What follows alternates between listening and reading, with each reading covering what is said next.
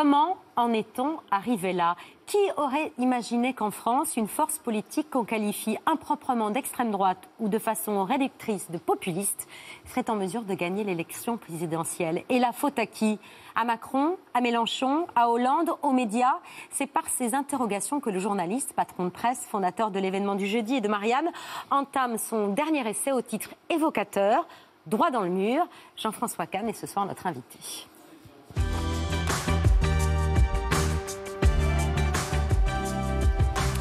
Bonsoir Jean-François Kahn. Bonsoir. Soyez le bienvenu sur le plateau de C'est à vous, je vous en prie. On va droit dans le mur, point d'exclamation. Vous n'avez aucun doute. Il y a un mur et on y va. Deux ans et demi avant l'élection présidentielle. On y va si. On y va si. Euh, l'extrême droite n'a jamais paru en aussi bonne position pour conquérir le pouvoir. C'est ce que nous dit aussi l'hebdomadaire L'Express, qui, à sa une, affirme que le plafond de verre n'existe plus. Marine Le Pen est en mesure de gagner l'élection présidentielle de 2022 C'est pas le plus probable, mais c'est pas impossible. Ah, alors que jusque-là, ça l'était. Ah, s'il y a cinq ans, ici, je vous avais dit, vous savez, Marine Le Pen, gagne les présidentielles, il y aurait ce mec qui se fasse soigner. Mm. Franchement. Euh, aujourd'hui, même si c'est pas le plus probable, c'est pas impossible c'est pas pour alerter là-dessus que j'écris ça, ça j'ai déjà fait. C'est pour dire, mais attendez. Comment on en est arrivé là? Attendez, pour qu'on en arrive à considérer qu'elle peut gagner les présidentielles. Mais quelles erreurs on a dû faire? Quelles erreurs ceux qui la combattent ont dû faire? Quelles erreurs ceux qui devraient l'arrêter ont dû faire? Quelle erreur la gauche républicaine a dû faire? Et rien. Absolument rien. Mais je pourrais continuer. Hein. La droite, la gauche. Jamais dans l'histoire, vous entendez, de la République, la gauche a fait un si mauvais score qu'aujourd'hui. Jamais. Ben, elle pourrait quand même s'interroger pour y avoir sur trois jours d'études. Mais quelles erreurs on a fait Quelles erreurs on a fait La droite, je vois, on dit Rachida Dati formidable, elle va peut-être faire 19%. À Paris, aux élections mais municipales. Chirac qui faisait 50%, c'est ridicule 19%. Donc, mais comment est-ce que la droite en est arrivée ça? Ben non, jamais, il ne se pose pas de questions.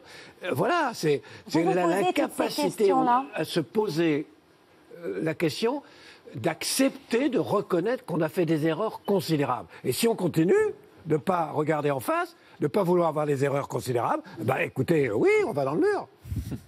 Point d'exclamation. Dans ce cas-là, point d'exclamation. On va revenir sur les erreurs commises et non analysées, mais ce duel annoncé entre Emmanuel Macron et Marine Le Pen vous inspire une métaphore.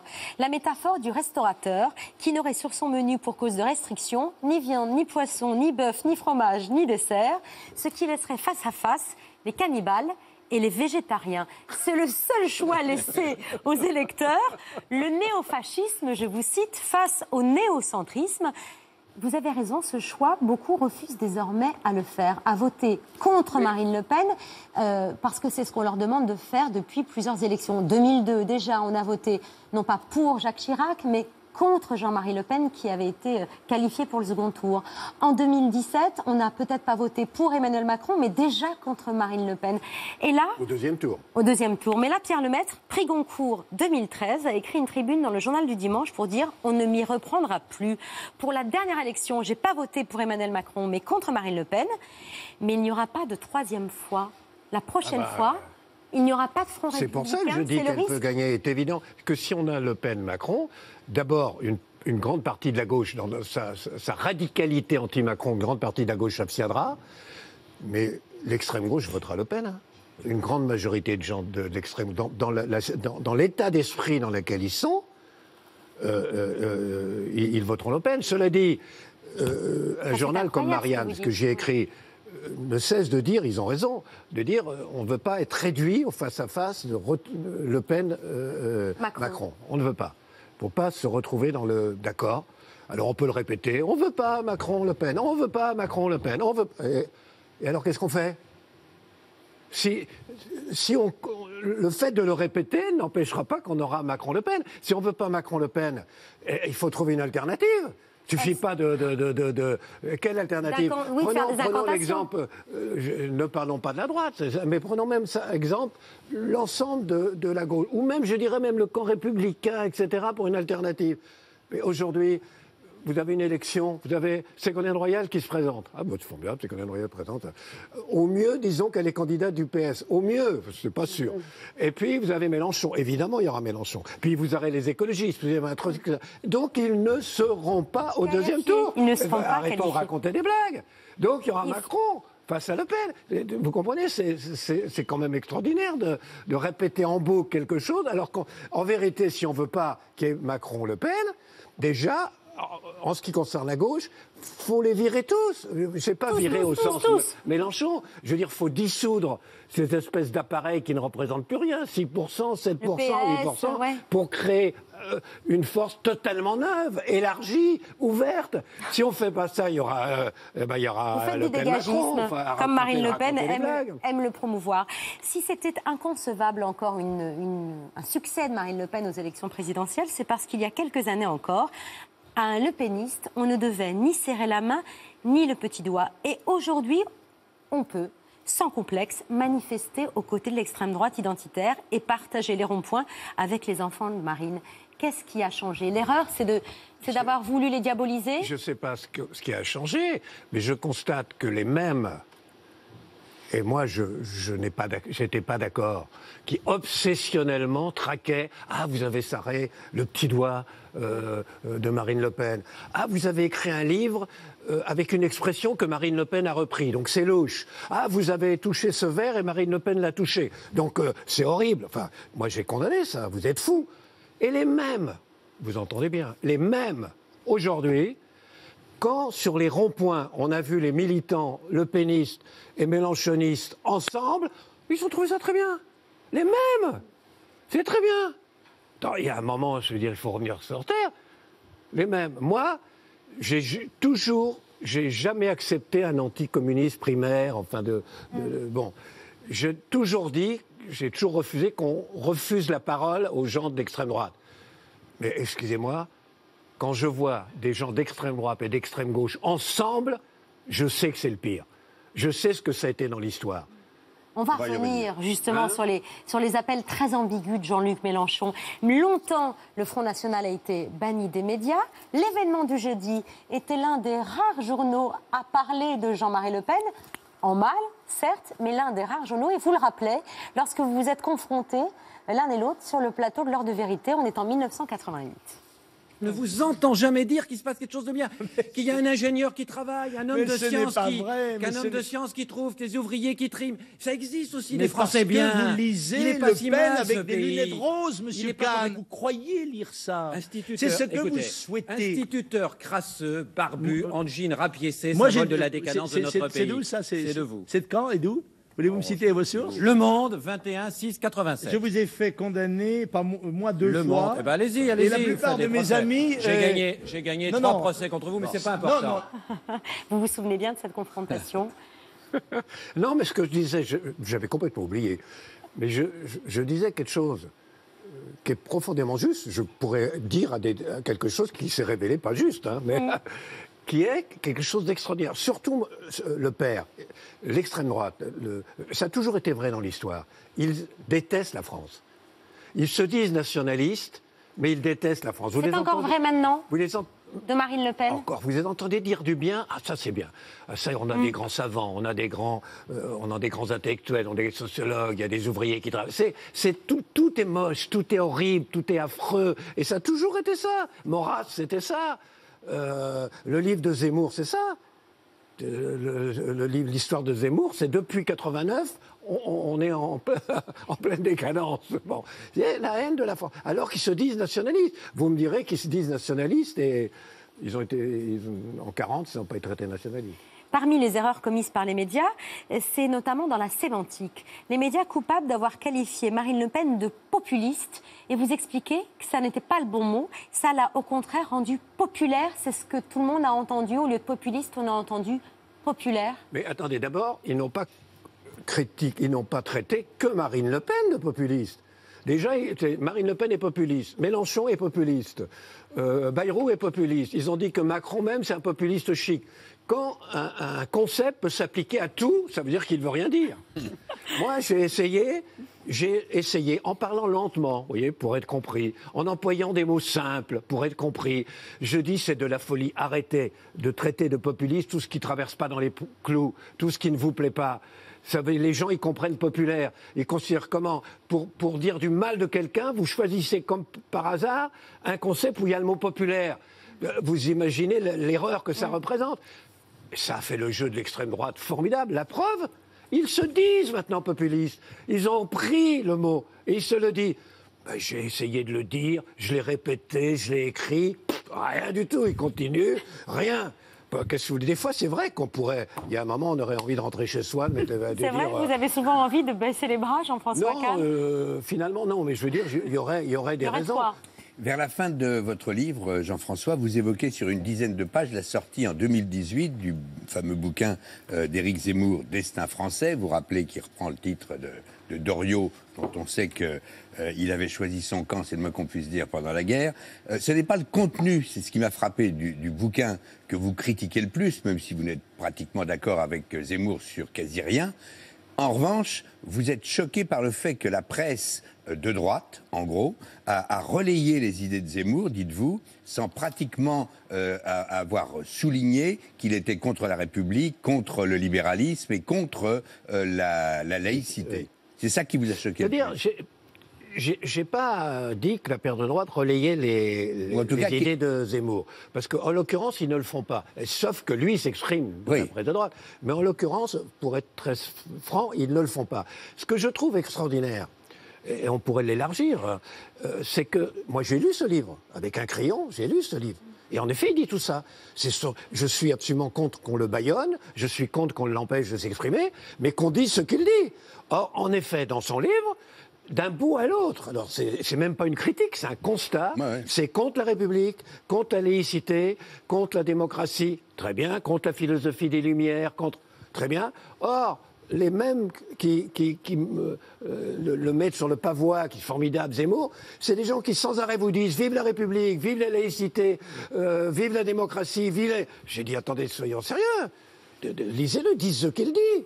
C'est pas, honnête. Il ça. a contribué Mais, mais ça ne joue pas que. Regardez euh, le euh, quand il y a eu MeToo, alors là en plus qui rebondit avec l'histoire Gabriel Mazner, et quand il y a eu MeToo, à ce moment-là, j'ai écrit quelque chose qui est passé complètement euh, à l'as, alors que maintenant, non, les gens le reprennent. euh, Mm. Je veux dire, mais enfin, c'est extraordinaire. Vous avez raison, MeToo, c'est vachement salvateur. C'est-à-dire... Libération de la parole de la femme. On n'accepte pas les violences sexuelles et les violences tout court faites aux femmes, etc. Mais attendez, qui c'est qui a fait du marquis de Sade le théoricien de la violence faite aux femmes, le théoricien de la violence sadique, cruelle, jouisseuse faite aux femmes, qui en a fait le divin marquis. Qui L'équipe solaire, c'est tout ça. Oh, J'aimerais que c'est au moins qu'on les entende, qui disent attendez, on a, c'était peut-être pas, euh, c'était peut-être discutable. a soutenu Gabriel Euh, voilà. Matzneff C'est-à-dire à l'époque, hein, L'idée, c'est que rien n'a un sens. Vous dites qu'il faut apprendre de ses erreurs et les reconnaître. Ça vaut aussi pour vous. Bah, Parce que vous. Vous parliez de MeToo, par exemple. On se souvient de vos déclarations pendant l'affaire Dominique Strauss-Kahn, qui pour vous était un coup monté. je suis certain, enfin pratiquement certain, qu'il n'y a pas eu une, tentative violente de viol. Je ne crois pas ça. Je connais le personnage, je ne pense pas. Euh, Qu'il y ait eu une imprudence, on peut pas le, je sais pas comment dire, euh, un troussage. Il appelait ça une erreur de jugement. Qu'il y ait un troussage euh, de domestique, enfin, je veux dire, ce qui n'est pas bien. Ça avait Non, mais beaucoup ça, choqué ça, à c'est pas une erreur, c'est une connerie, c'est différent. C'est plus grave ou c'est moins grave Pour moi, c'est plus grave, parce qu'une connerie, ça, on vous, on vous le reproche, alors qu'une erreur, on ne vous le reproche pas. C'est d'ailleurs un des thèmes du livre, c'est qu'on vous la reproche pas. Donc c'était une C'est connerie, donc plus grave pour moi, parce que c'est une... Mais ça, c'est c'est rien à voir. C'est vraiment une formidable connerie. C'est d'ailleurs pas une erreur, parce que je crois que dans sa tête, c'est un troussage de domestique. Parce que profondément, c'est vrai, il le ressentait, c'est ça chez lui. Mais le dire comme ça, c'était une Qui grosse aggrave son cas, au passage. ah oui, ça aggrave son cas, mais d'ailleurs, c'était pas. Mais, mais euh, moi, j'ai toujours analysé, quand j'ai fait une erreur, j'ai toujours tenu à les analyser pour pas les commettre de nouveau. Ce qui n'est pas le cas de ceux que vous attaquez dans le livre, et notamment de Jean-Luc Mélenchon. notamment Jean-Luc Mélenchon, euh, la gauche en tout cas qu'il représente, Jean-Luc euh, Mélenchon, les erreurs d'une fraction de, de la gauche, donc que euh, le, le sénateur, ancien sénateur euh, incarne. Euh, Vous dites que ce qu'il dit, ce qu'il fait, alimente le moteur du Rassemblement national, qu'il fait battre des records de vitesse au moteur du pire de la droite, c'est votre expression. Vous pointez aussi dans son discours et dans celui de cette gauche ce que vous appelez des complicités pas inconscientes. En l'écrivant, vous pensiez peut-être à ces mots de Jean-Luc Mélenchon, c'était le mois dernier, au début du mouvement contre la réforme des retraites. Si vous voulez même Madame Le Pen, je ne sais pas si vous êtes au courant, mais elle dit qu'il faut manifester. Alors, eh, écoutez, c'est un grand progrès. D'habitude, elle passe son temps à chercher pouille aux Arabes et aux musulmans. Et pour une fois, elle a compris que quelle que soit sa religion ou sa couleur de peau, euh, on a tous des intérêts communs et qu'on est semblables. Et qu'à partir de 60 ans et plus, tout le monde est fatigué. Donc que ça vaut la peine que les gens s'arrêtent. Elle est en train de faire un progrès, en quelque sorte, en direction de l'humanisme. Je vais quand même pas me plaindre de ça. Un progrès en direction de l'humanisme. Quel intérêt Jean-Luc Mélenchon savez- a-t-il de dire ça? Vous savez, vous me demandez, vous aussi, vous avez commis des erreurs. J'ai failli en commettre une énorme. Figurez-vous qu'au moment des élections présidentielles, les dernières, au premier 2017, tour, oui. comme je voulais pas voter euh, Macron, Vous avez failli comme je voter voulais pas Mélenchon. voter, euh, euh, Hollande, comme je voulais voter à droite, j'ai failli voter Mélenchon. J'ai eu un moment D'égarement j'ai été tenté. Vous vous rendez compte? L'erreur énorme. Pourquoi ça aurait été une erreur énorme? Il y a beaucoup, bah, il y a eu beaucoup de Français qui ont voté pour qu'il Jean-Luc Mélenchon. euh, vraiment. Euh, ce que vous dites, enfin, c'est, c'est, euh, c'est évident que euh, y a dans cette. Qu'est-ce que vous voulez? Critiquer comme, comme je l'ai fait, comme je l'ai fait à la télé, comme euh, l'extrême droite, le danger euh, néofasciste, etc., quand tout à coup vous avez de la part de Mélenchon et de ses amis la même violence, la même hargne, la même haine, le même mensonge. les- Comment vous pouvez dire, je, je- d'accord, j'accepte pas ça de l'extrême droite, et tout à coup, euh, mon Dieu, dans cet édito que vous avez écrit dans ce numéro de Marianne qui s'appelle J'ai bon. Euh, celui qui cristallise en ce moment la haine autour de lui, c'est Emmanuel Macron, qui a dû momentanément quitter la salle du théâtre des Bouffes du Nord la semaine dernière après une tentative d'irruption d'une dizaine de manifestants. Quelques heures plus tard, c'était, vous y revenez dans cet édito, la Rotonde, restaurant emblématique où il avait célébré ses scores du premier tour qui partait en fumée, sans oublier les ministres euh, régulièrement chahutés dans leurs déplacements, à l'image de Marlène Schiappa, ceux qui reçoivent carrément des menaces de mort, comme Bruno Le Maire, Gérard Darmanin Et récemment. encore, je savais pas ça. Gérald Darmanin, vous dénoncez, vous, ce genre d'action dans votre dernier édito, ça et bien d'autres choses. Mais les si coupures d'électricité, l'irruption dans les locaux de la CFDT, la casse dans les manifs. Vous dénoncez ce genre d'action. Si le mouvement social, dites-vous, est devenu asocial. Ah, Là, dans ça, je tous dis pas le mouvement social est devenu asocial. Je dis ça, c'est à l'intérieur du mouvement social quelque chose que c'est comme les réseaux sociaux. Les réseaux sociaux, quand vous les regardez, c'est des réseaux asociaux, c'est asocial. Si ils se comportaient comme ça avec Marine Le Pen, je serais extrêmement contre. Et pourtant, vous ne pouvez pas me soupçonner de la moindre sympathie. S'ils se comportaient comme ça avec Mélenchon, je serais absolument contre. Moi, je... mais il y a des principes. Il y a des principes. Je ne vais pas arriver à mon âge ça.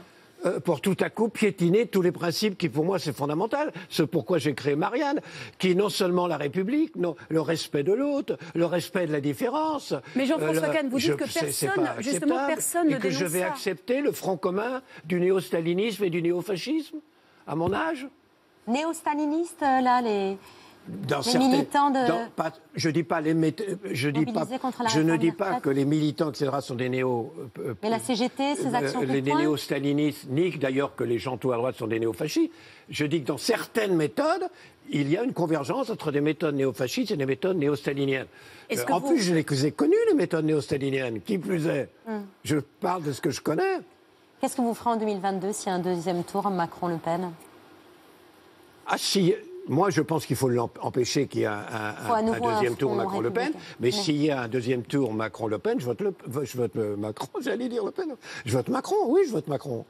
Sans aucune Ah, hésitation. bah, sans aucune hésitation, mais, mais, mais il faut qu'il y ait une autre, d'autres alternatives que celle-là. Pierre. On a retrouvé une archive de 1967, Jean-François Kahn. Euh, moi, je vous ai connu à Europe au milieu des années 70, quand votre rendez-vous politique et d'information du matin était le moment euh, le, plus, le plus écouté de France. Vous voyez que je suis né sous Clémenceau. Non, non, on, a- on est à peu près de la même génération. Vous étiez souvent véhément, souvent en colère, même avec le sourire euh, et, et large, euh, avec votre style inimitable. Mais dès 67, vous allez voir, vous étiez, vous installiez un ton pas commun. Par exemple, en évoquant 1917, pas le film de Sam Mendes, mais la révolution bolchevique. Il y a 50 ans, la révolution éclatait à Pétrograd. À l'époque, on accueillit ça avec un certain pessimisme, d'une part, mais également sans trop y croire. Aujourd'hui, il n'est plus possible d'ignorer que cette révolution russe a ébranlé le monde.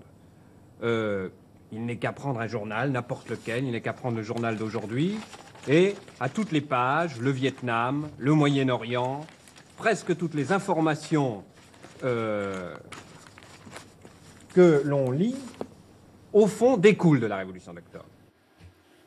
C'est vachement bien. Vous étiez déjà décontracté. Mais là, euh, je commettais une erreur, non pas de constater ça qu'on a négligé, mais parce qu'il n'y a pas eu de révolution bolchevique en vérité. C'est une grande erreur qu'on a commise, c'est de considérer un putsch comme une révolution. En fait, c'était un putsch d'une minorité armée représentant une minorité qui a pris le pouvoir par les armes. Et le fait même, et là je, je- je commets une erreur en reprenant ce terme, de, de considérer que c'est une révolution a été une erreur.